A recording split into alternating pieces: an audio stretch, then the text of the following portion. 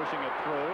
Down towards half forward, pulls it back, hauls the target, cleared him. Pittman's playing at centre half back. Allen goes down, Hall's got it, quick hands. Morris, the open goal beckons.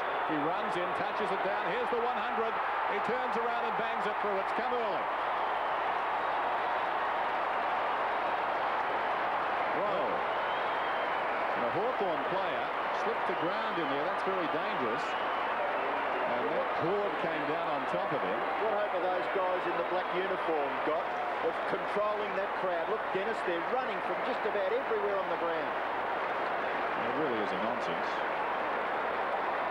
Still, congratulations to Jason Dunstall. He's done it again. A little bit easy. Um, Jimmy Morris just handled one over the top, which is uh, an odd way to get it, but still, I'll take it. Yeah, there are a few out there today, actually. Um, worst thing is, I mean, it's nice to have the support of the people, but uh, it just stops the game for about five minutes. That's the only problem.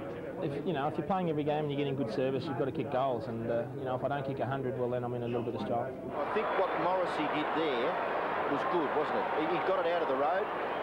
Yeah, at least you're not worrying about it that way. Um, after last week, it was, uh, it was a nice way to get it over and done with early. There's Chris Langford all the way from full back, so he, he's not going to be denied. He's run the full length of the ground to congratulate Dunstall. Even the Blue Coats are shaking hands with Dunstall.